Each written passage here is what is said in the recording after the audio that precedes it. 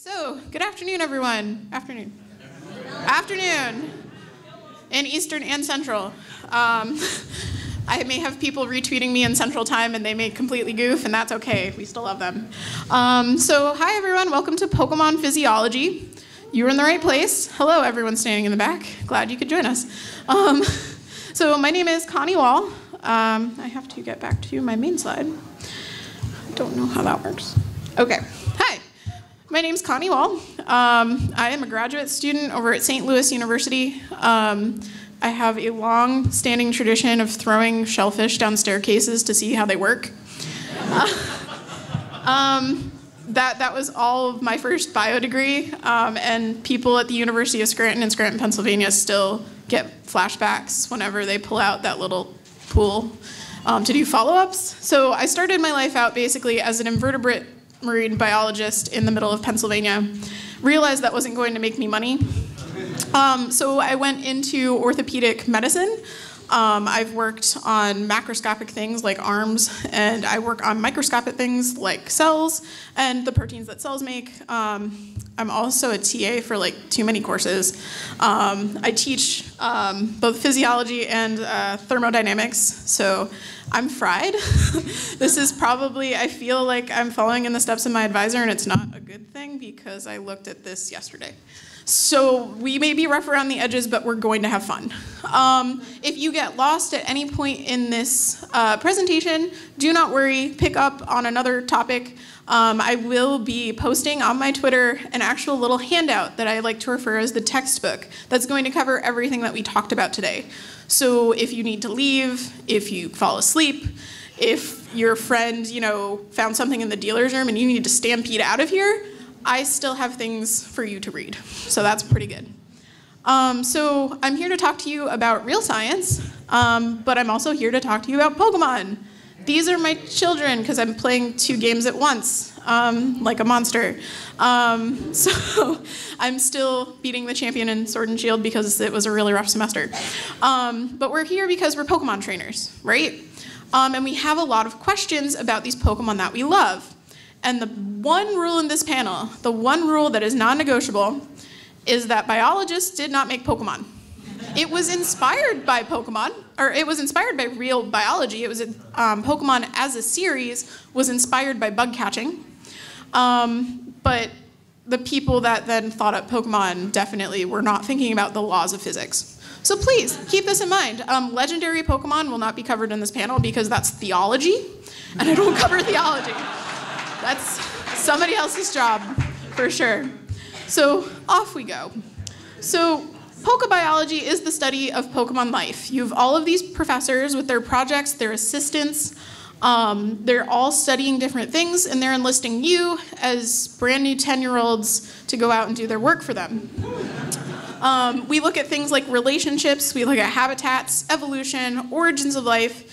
Um, they're all really noble pursuits. But I care about, as a person, things like the continuity of life. Where do eggs come from? We don't know because no one ever bothered to find out. Um, mega evolution or acute abilities, so that's our Dynamax, right? Um, and then we have attacks and structure function relationships. So this is the fun part for me, honestly.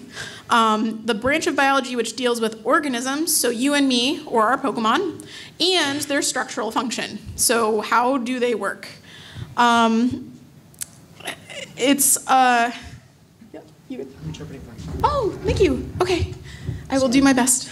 Okay, so backing up a little bit, so physiology is the branch of biology which deals with organisms and their structural function. So Elm, Elm is definitely um, concerned with eggs. He's concerned with where eggs come from and why he hasn't camped out at the daycare center. Still, I don't know. He just doesn't do field work. Sycamore, I like to joke that Sycamore doesn't do anything, but he is. Thank you. That one hasn't gotten a laugh in a very long time. um, but he does study mega evolution, and if I were a grad student, I'd probably be under Kukui because he studies um, the attacks and the structure function relationships needed to actually um, study how those attacks land and how they function. And then there's Magnolia, and I really like Magnolia and I love Sonia because They are finally yet another, other than Professor Juniper, another female professor, and they're both studying Dynamaxing, and I think that's awesome. Um, so these are all Pokemon physiologists in some way. But life is complicated. We need to define life, so there's actually qualifications for life. There's a hierarchy of the structure, so what happens at a small level should, in theory, happen at a large level. And there are lots of surprises. So Pokemon life um, is way more complex than real life. This is to say the least. Um, our friend here is, you know, rock sliding in a field, a flat field, which to me would be the same as rock sliding where I live in the Midwest, where there are no rocks. Um, so most attacks aren't following our laws of physics because, once again, laws of physics don't apply. Um, ghost types and ghost type adjacents, so Rotom, Porygon, I, I there's, there's not much to say about that other than what do. Uh, so we're just gonna let those be for right now. So here's the thing, where do we even start? Oh, I opened the wrong one, okay. So where do we even start here? We have all of these fantastic abilities. Once again, Rayquaza, legendaries need not apply right now. um, Mewtwo, however, is a legendary that will apply because why?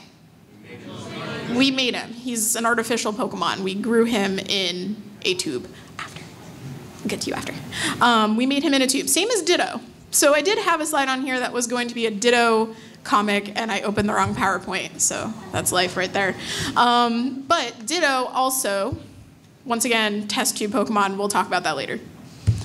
So, we talked about pokebiology, study of life, we have to define life, what is it? So, we have these rules, right? You have to have a basic unit of function. You cannot just be a bunch of molecules floating around and calling it life.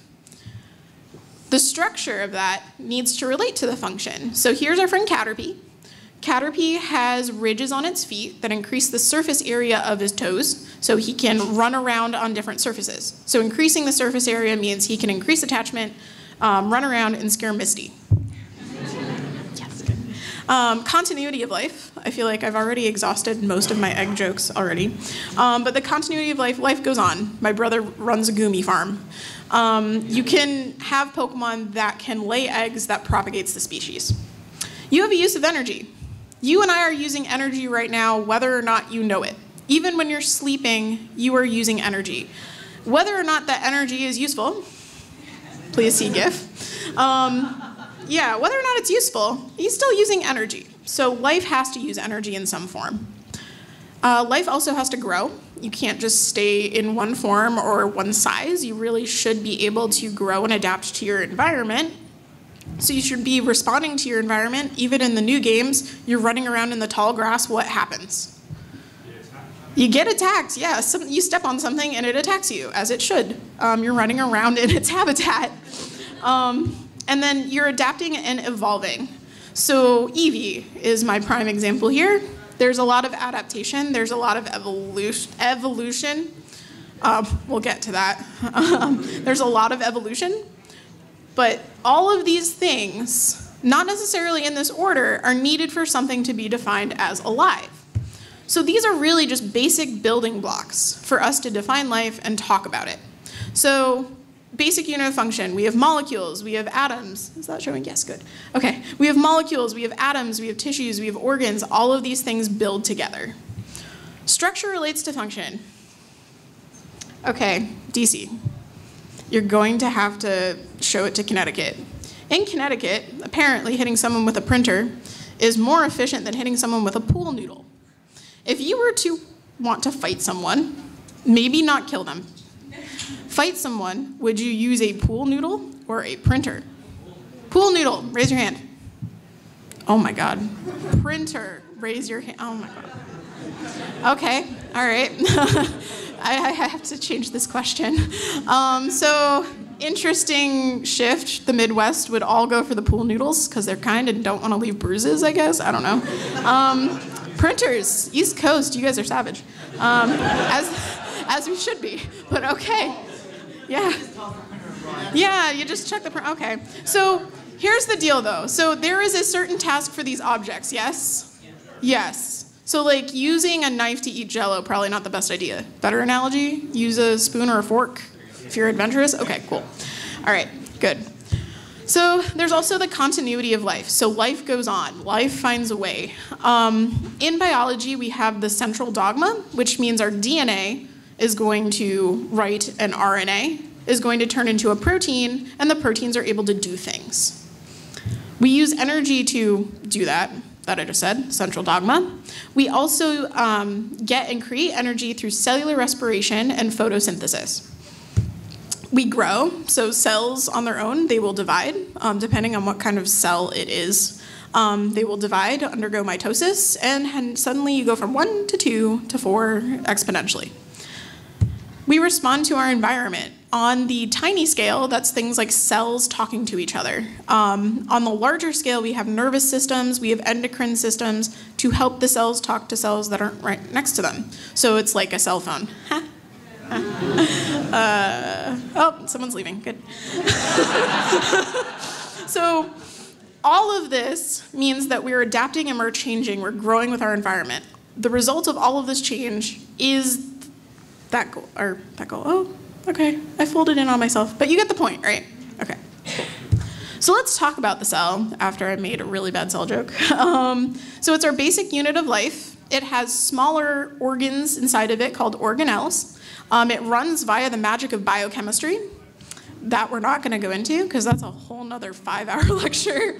Um, it makes proteins. So the job of a cell essentially is to make proteins. Those proteins are going to go outside of the cell and do things. It's either going to build the tissue or the house that the cell lives in, or it's going to go do something else. So mucus is my favorite protein. You all might be grossed out by that, but have you seen like a hagfish Mucus is really, really cool. And cells make that to work around them. Um, so that's a plug for mucus. Um, so once again, central dogma, DNA to RNA to protein. Oops, there we go. I'm like, oops, no. Okay, DNA to RNA to protein. Um, that's the whole goal here. Life goes on. All right. So the cell uses energy.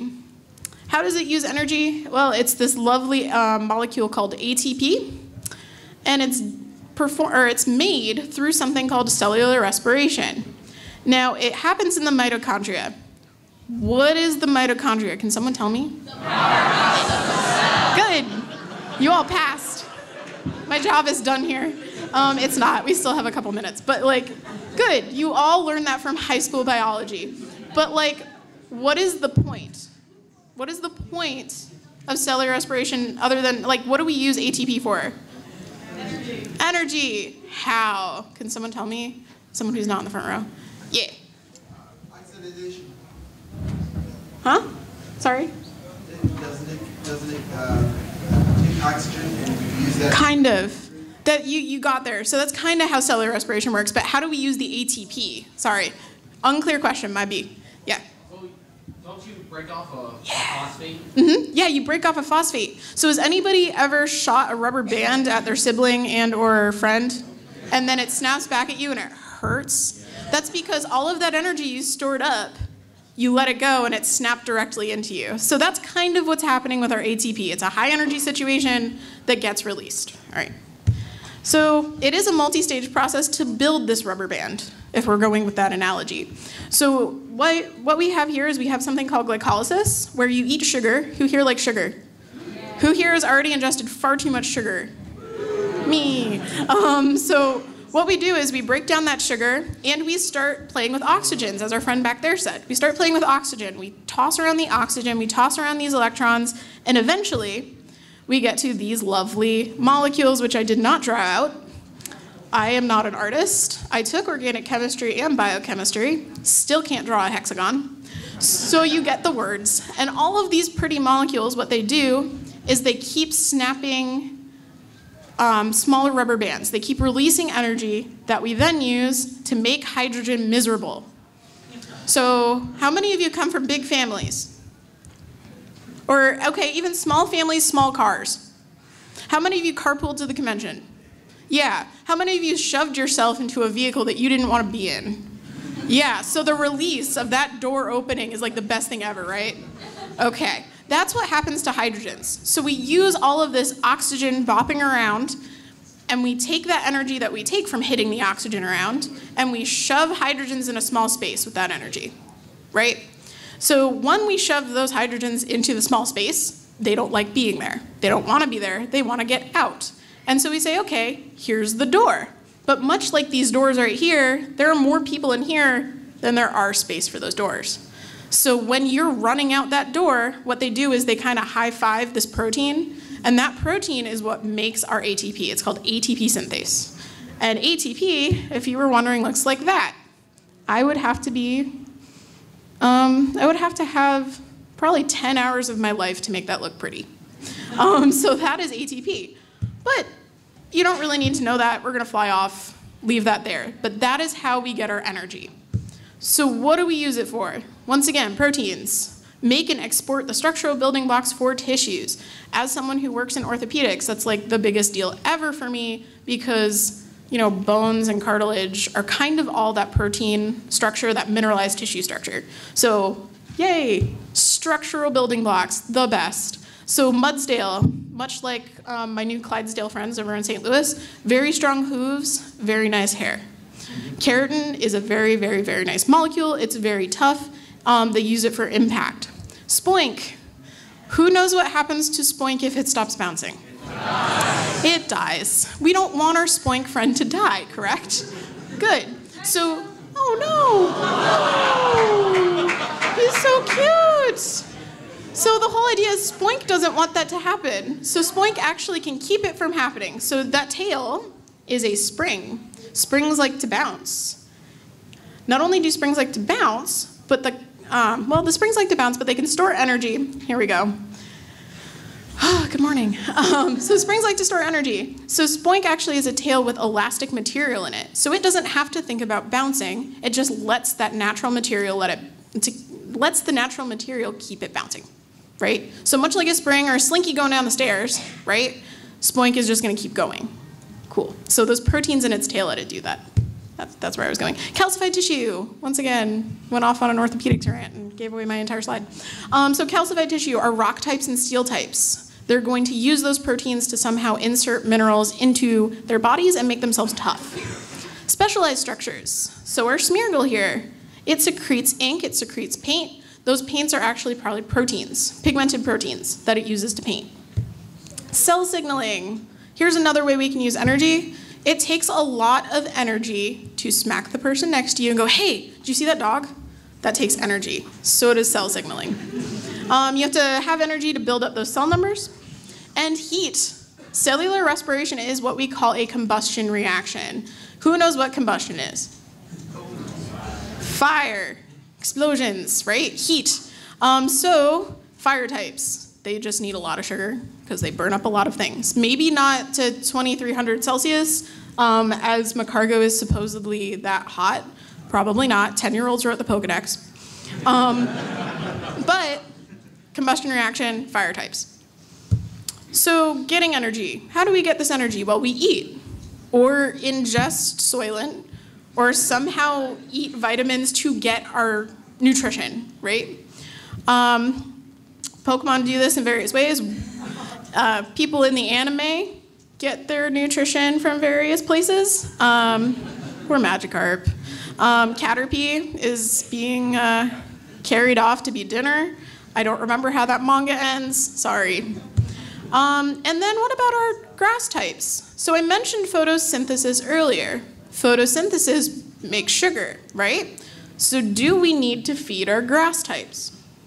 What do you think? Oh, mixed bag. Sometimes. Oh, okay. There's a lot of buffering going on. Bulbasaur, yes. Bulbasaur, yes. Okay. So, yes and no. All right. So let's take a look at this. Yes and no. So photosynthesis produces sugar using the energy that plants get from light. And they do this with the chloroplast. Now keep in mind, I was an invertebrate biologist and I work on people now. So if there are botanists in the room, I am so sorry. Um, so chloroplasts are a special organelle that plants have, or grass-type Pokemon have, that are able to convert light energy um, into sugar using a fun biochemical reaction, which we'll see later. Um, you can also do this with other plastids. So there are types of algae that you can find um, in the northern Atlantic that actually have different colors. So they can use different wavelengths of light to make their colors. Um, other plastids produce pigment. So tomatoes go through a process where um, the longer they grow, the more um, lycopene there is and they get sweeter. So you green tomatoes versus red tomatoes, essentially. Um, those are still plastids. They may not photosynthesize, but they exist. So why am I telling you this? Who cares about plants? Um, so photosynthesis is a two-part um, situation. It's a charge-up stage and a building block stage. Um, the charging stage is called the electron transport chain. Let's bop electrons. It's essentially taking those electrons like you would a beach ball and going boop. That's all it is. It goes through approximately eight different proteins. Um, there's probably more than that. Sorry, botanists. I'm like butchering your thing. Um, but it, what they do every time they hit it is they put energy into that electron, right? Like you're hitting the ball, you're putting energy into it, and it's flying off somewhere, right? Then once you have that energy, you put it into a Calvin cycle, which once again, I'm not going to draw that. I'm not going to make you suffer. Um, there's a lot that goes on there, but at the end of the day, you're building up a carbon chain, much like stacking Legos together. Um, and you get sugar or a precursor to sugar. You could get sucrose, you could get glucose, you could get fructose. Do all of these sound familiar? If you were to read the back of your Hi-Chew, you'd see all of those. um, so they're all sugar. It's just we deal with it differently. That's a whole nother thing. Okay, cool. So, happy now. Told you all about photosynthesis, right? So why? Why do we need it? Do the grass types really need to eat if they're just gonna sit in the sunlight and make their own sugar? Um, yes, you do need to feed them because you're building glucose, you're building fructose. There's a very limited amount that they can make. And uh, Bulbasaur isn't completely a plant, right? He's kind of a critter that moves around and has organs and a brain. Brains don't work on sugar alone. So cellular respiration, although it primarily runs on glucose, you have other things going on here. Other good things come from food. So phosphorus, nitrogen, we have our DNA. We need DNA, right? I've already mentioned DNA like three times at least, right? So it must be important. So other things come from food. Um, yeah, this guy does not get that big solely off of sugar alone. So building blocks for amino acids, aka our proteins. So we have our carnivorous plants. So he, he, who here actually has a Venus flytrap? Does anyone have like a like a pet one? No. So do you feed them? Do you just have a lot of fruit flies in your house? Precursor. Oh, did. Did is the keyword. Okay. Yeah, makes sense. So you do need to feed them mealworms or you need to feed them mosquitoes, fruit flies, something because that's actually how they get it. They digest their food.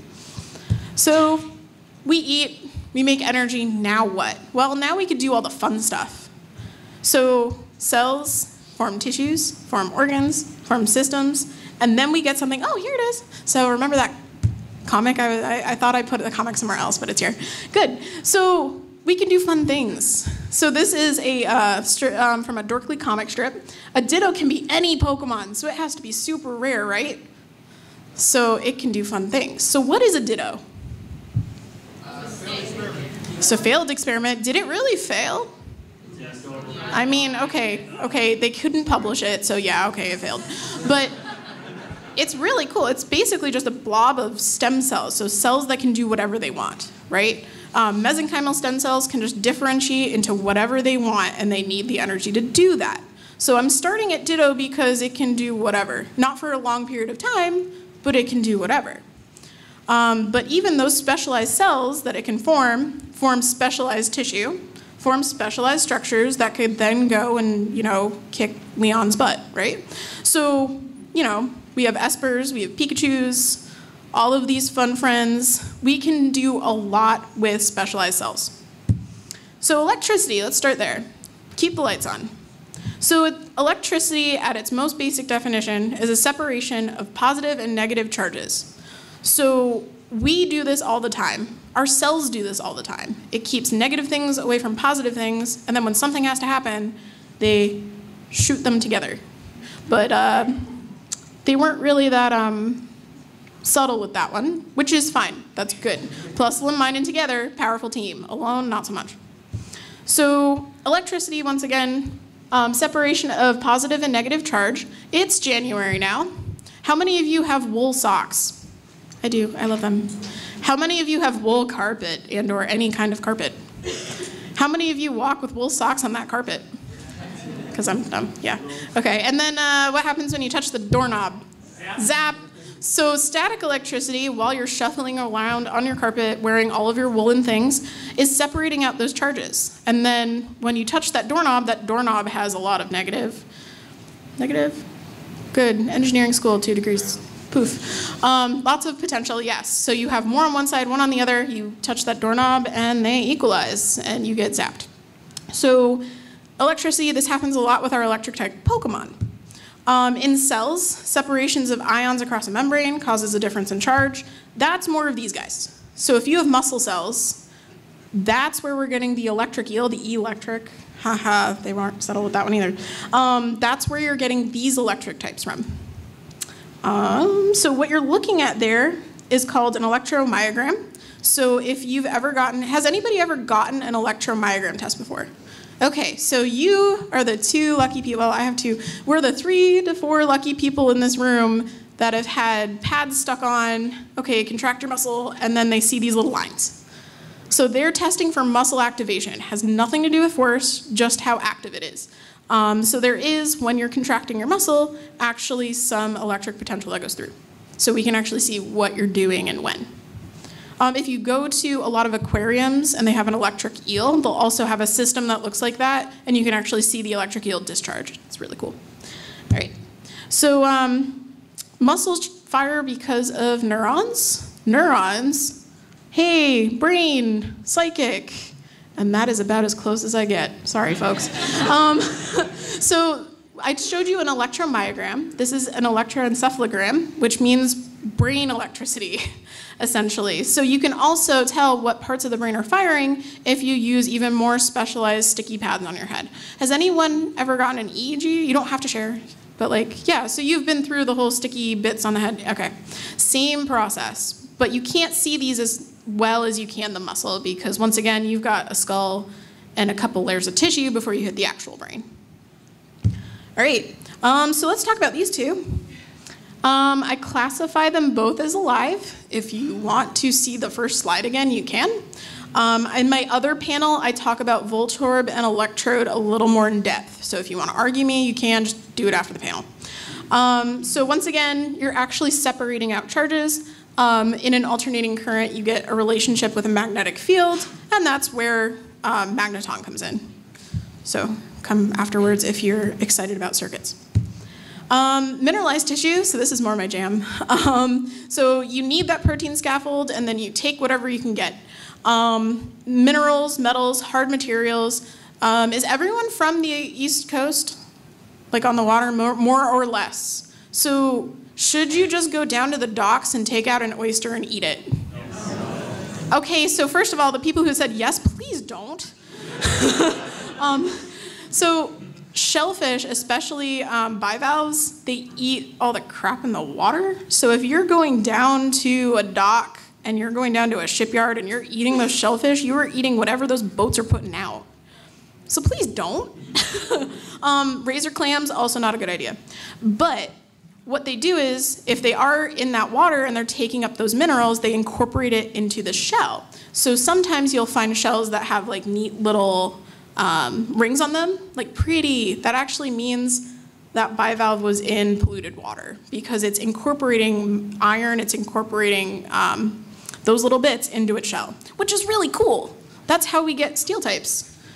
But don't eat those. Okay. Um, you do this too. So, bones. Your bones are constantly breaking down and building themselves up again, which is really inspirational because you too can build yourself back up again.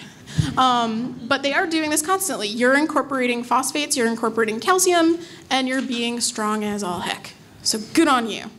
Um, and oh, I already gave that. I really need to reorganize that. That's okay.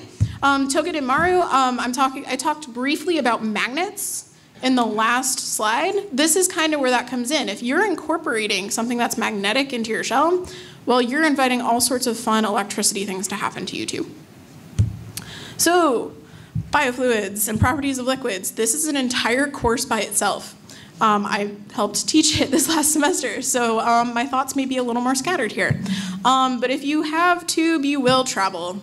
Water goes from high pressure to low pressure, sometimes very fast if you're a Blastoise, right? So where that comes from, we're not going to talk about that. But if the Blastoise has it, it will travel. Bernoulli was a very cool dude, um, and he came up with all these scary equations to tell you that. So congrats, you just passed like half of a fluids course. Nice. Um, properties of liquids, once again, cats, I guess, um, fits into a given volume. It has viscosity, so it has a rate at which it will move, and it has a certain density, so how closely things are packed in together. Closely things are packed in together. Um, we also have water as a universal solvent. So sugar, what happens when you put sugar into water? It dissolves like that. If some of you may be thinking, like I am thinking of now, the raccoon. Yeah, it will dissolve. So other things also dissolve in water. All the important things that we need live in water, essentially. Um, osmolarity is kind of that measure there. All right, so here we are. Here we are. Um, so we're about to talk about some, I don't want to say controversial, but there are many ways you can look at it. This is one opinion, okay? Remember, Pokemon was not designed by biologists or engineers for that matter. Um, I'm both. Can tell you there was no thought put into that. Do not try and rationalize it. It should be taken at face value. We're going to talk about ghost types. Uh, yay! Um, so uh, back before this new generation, so I haven't had time to finish the game, let alone set up this panel again. So I have not looked at the new ghost type Pokemon entries. But if you go through the Bulbapedia, Serebii, whatever you use, you read through those Pokedex entries, here are the things that I've picked out. okay, so how do these things match together? Well, Gastly is 95% poisonous gas. Gengar is a heat sink, which means everything around it gets colder. Um, I read so much on Misdreavus. I can only find that it makes a loud noise. That's it. That's the only useful thing. Everything else was like getting into like the creepy stuff that I filed under theology, spirituality. So it shrieks, okay? Um, Shuppet has no tolerance for light. Duskull can pass through walls. Once again, the only useful thing in the older generations that I can find. Drifloon is filled with air and screams when it's popped. mm. So, like, yes, okay, it kidnaps children, but it screams when it's popped, so kids keep a sharp object on you at all times. Um, Litwick, um, flame grows it as, as it absorbs energy, so that's actually useful. Um, and Mimikyu is weakened by sunlight, um, which is also why it wears its cute little costume. So, um, what the heck? so there's a gas element here. There's some kind of thermodynamics going on here. Um, as thermodynamics changes energy, changes heat, um, there's something to do with energy release. Um, we'll get into that. So uh, basically, that whole rubber band issue, it snaps, right? You hear it as sound. That's a lot of energy. If something's being slowly released, you're going to see heat. Ghost types have a lot of energy, therefore screaming. um, also explains small children, by the way.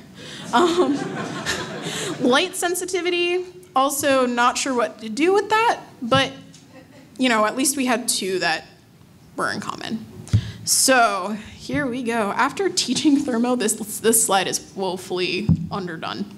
Um, so here's the first rule. Energy can neither be created nor destroyed. This means that whatever's there had to come from somewhere. It didn't just pop up unless you're Arceus, in which case that's the theology course and not this one. um, the entropy of an isolated system always increases. So basically, when something happens, be it chemical, be it mechanical, crashing into things, there's always going to be a little bit of that energy dissipating off into the universe forever. Goodbye. You can never get it back. Um, so what's sticky about this is that ghost types break these rules. Um, energy within a system that is unavailable for work. Well, if you are a ball of gas and you're letting go and taking back without any real change, you're definitely not using entropy right. Um, and that's where I leave it. so the laws of physics are breaking. I'm sure there's a way to get around it if you were to stick five layers of calculus in there. Please don't. Um, no, don't do that. Don't whip out MATLAB. No, you're on vacation. So entropy, energy within a system that's unavailable for work. Um, ghost types do exhibit this energy release, so we can't really say there's something going on. So with that, we are more or less done.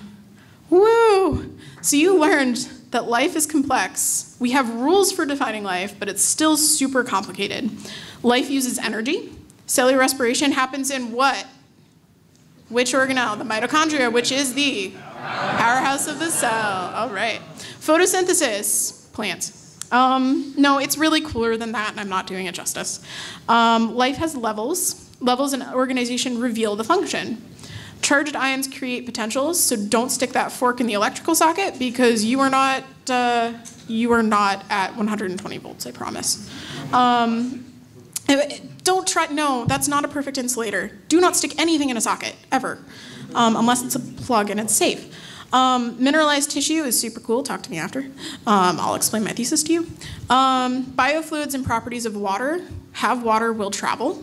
Um, ghost types, cool, but oh my God. Lord only knows. Um, so you learned a lot today. Here are my references. That comic came from Dorkly. the artist is Andy Cluthy. Shameless promotion. shameless promotion there. if you do want any of these papers that I took the photos from, please let me know. Um, everybody who's here has supported me. I apologize to my bosses for literally like disappearing for two weeks for Christmas. Um, that's a thing. Um, and I will take questions. Yes. Uh, Charlotte, yep. can you? You may just have to repeat it. I don't think that's gonna. I Okay, so I am a horribly indecisive person. I am a horribly indecisive person, so I let Charlotte do it for me. So if you would like to ask a question, you have to get her attention. okay, cool. Knowing what you know as specialized as you are, is there a certain type that you think that Pokemon is missing out on? Is there a certain type that I think Pokemon is missing out on? Ah, that's a really good question. I think they could be more specific with ghost types. I feel like ghost types could probably be better defined. Um, but they're doing that with double typing. So that's a that's a really good question. Thank you. Yep. Yep. yep. You mentioned how Ditto is basically a blob of stem cells. Uh, the Masuda method is something trainers use to breed shinies. Mm-hmm. Is there any science behind that? Any science behind that at all? Probably not but um, it, I guess it kind of depends. So there are different types of stuff. Oh, sorry. Yes, and you're waving that sign. So someone asked, the Masuda method is when you use a different language Ditto to breed different Pokemon. If we are under the impression that Ditto is just a ball of stem cells, how does that factor in? Um, so there are different types of stem cells. You have stem cells that'll just go from whatever, right? Um, we get those from an embryonic state. Really hot topic. I do not mess with those. Um, mesenchymal stem cells are not truly what we call pluripotent, so they don't do everything. Um, but they do do certain things. So for me, they will differentiate into cartilage. So you may have that going on for you. You may have adipose-derived stem cells that will do other things. So you have all these layers. So there might be something to it. They absolutely did not think about that. but thank you. Yes. Mm considered looking at uh, like more direct translations of the Japanese text of Pokemon? Yeah. Have I have I um, looked into directly translating from Japanese when reading the Pokedex? Yeah. Yeah. Um, I haven't. I am not anywhere near competent in another language, let alone Japanese. I wish I was, because I'm sure I'm missing out on a lot of the nuances in there um, and a lot of the references. So I would love to work with someone. If someone wants to drop a business card, I've got like 500 of them. Um, so if you're interested in collaborating, sure. Um, but I have not myself, no. Hi. Is there any Pokemon that you have or would like to, like, directly look into exactly how it works, down from the smallest function up to the top, like, that you would dissect it and tell us, this is how this does this, and this is how it. Yes. Um, so the question was, do I have any Pokemon that I would want to just completely work out and dissect and understand how it works? Probably anyone on my team. Because then you can be like, I know you can do this and that, and you can learn that move because X, Y, Z. So yeah, I mean, anyone on my team. Have you gone as far as trying even any of like pretending? Uh, a little bit. That's kind of how. Have I gone as far to actually do that? A little bit. That's how this panel started. Well, the ghost type question was actually how the panel started, but the rest of it was that. But yeah, absolutely. Can we get this guy? Yeah, let me get you first. Hi.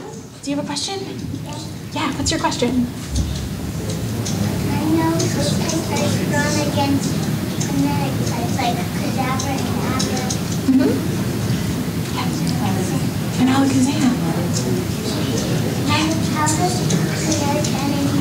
So um, the question was I know that go, um, ghost types are strong against certain types of Pokemon. So um, kinetic energy. So, how does kinetic energy work? So, you hit my favorite question because I'm a mechanics nerd. So, kinetic energy is what happens when you move, right? So, if you're moving, you have energy right? So that means when your Pokemon have energy and they, you know, are fighting with another one and they kind of like punch them or use their moves, they're using a lot of energy. And that energy is moving and making the other Pokemon move. And those Pokemon don't want to move. And that's where that damage comes from. That is such a good question. Thank you so much. thank you, thank you. There any equivalents of evolutionary stones or held items during training? Oh, um, so uh, are there any equivalents of evolutionary stones or held items when training? That is a big question. So the cellular person in me says yes. Like when I go to feed my cells, I put supplements in. If you want to know more about that, let me know. Um, I put supplements in, and the cells go, hey, there's this certain thing in my environment that I like. I'm going to use it to build something else. So, like, yes, that's the small one. The big version, you have all sorts of gimmicks. You have like cross training where you put weights on certain appendages and you do certain exercises to strengthen your muscles. Um, cross training is really good for your bones. So, like, if you're using something to help you train that way, like, yes. Um, not necessarily, I mean, then you have things like carcinogens in the environment that can cause your cells to do different things. So, not the happy kind, I guess. Um, de- probably not the happy kind, um, but kind of. Thank you. common uh, argument I, me and my friends are getting to is, in your professional opinion, do you feel it is ethical and safe to drink water from a water Pokemon? No. no. No. Because, yeah, no, um, there's a Dorkly comic for that too.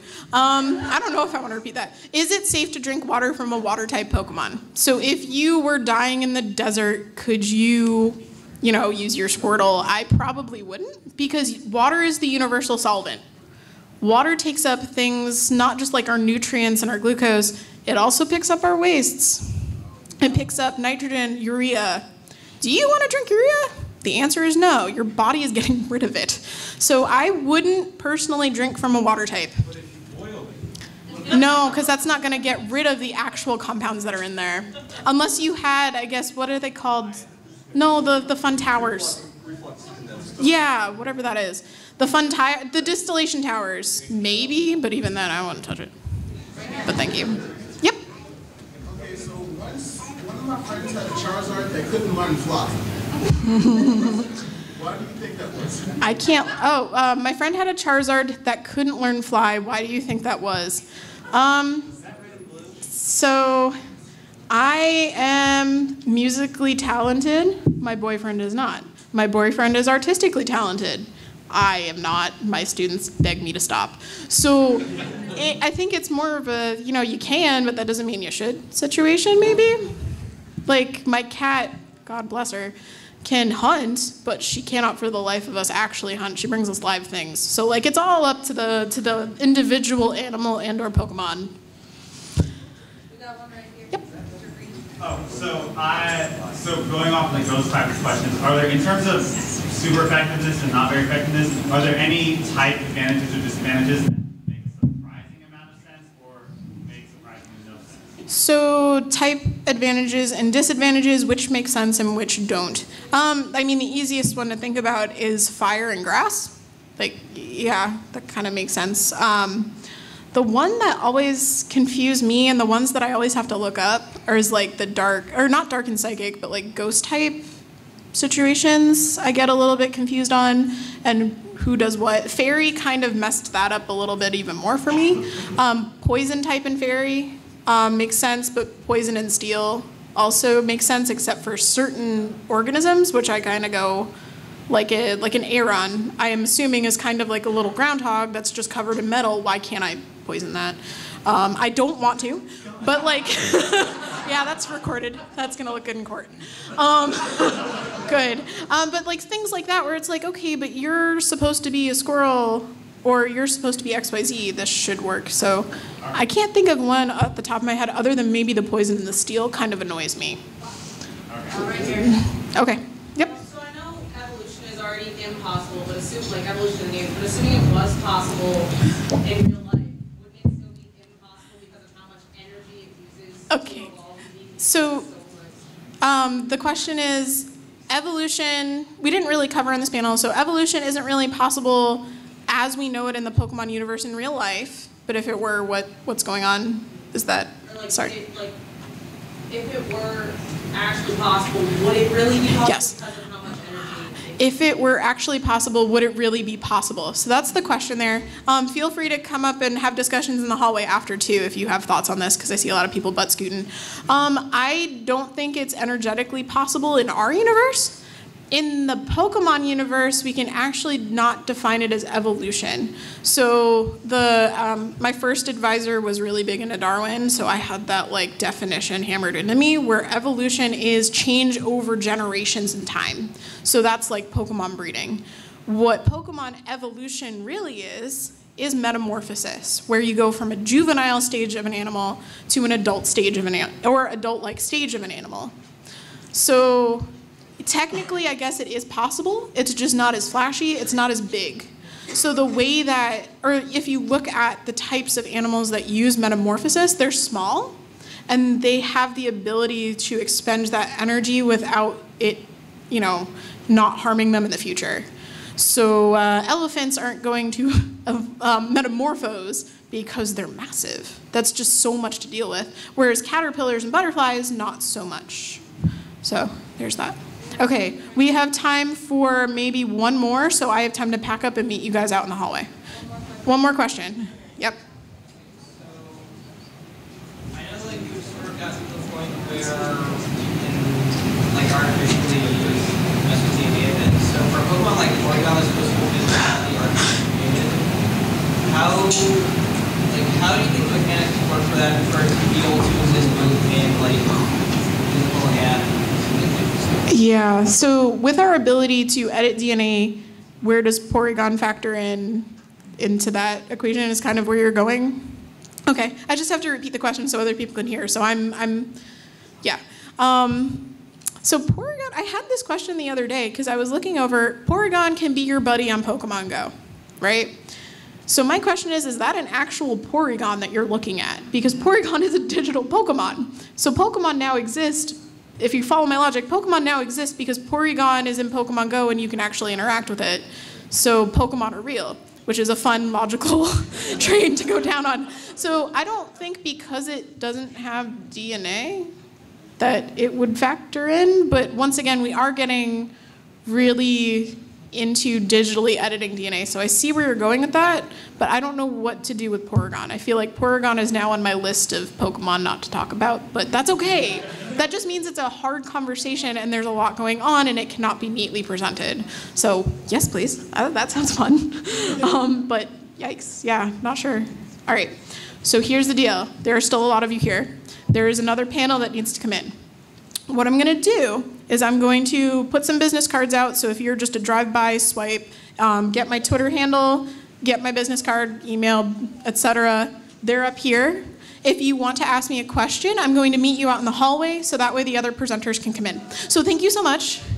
I love giving this panel. I will be here tomorrow to continue.